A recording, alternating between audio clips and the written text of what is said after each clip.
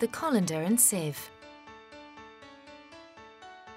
The colander and sieve comes with two screens, each with a rough and smooth side, to give four possible textures, ranging from coarse to very fine.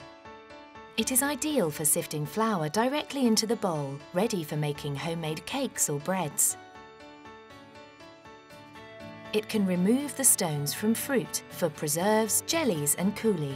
It will also puree fruit or cooked vegetables, so it's perfect for baby food. It is great at removing the skins and pips from tomatoes to make delicious homemade tomato sauce.